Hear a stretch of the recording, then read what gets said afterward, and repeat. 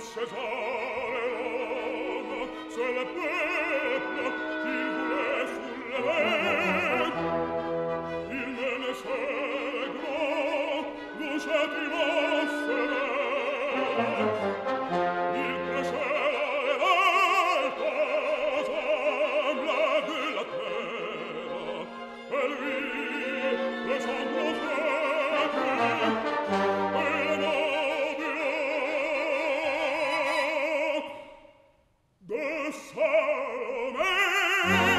la porti sana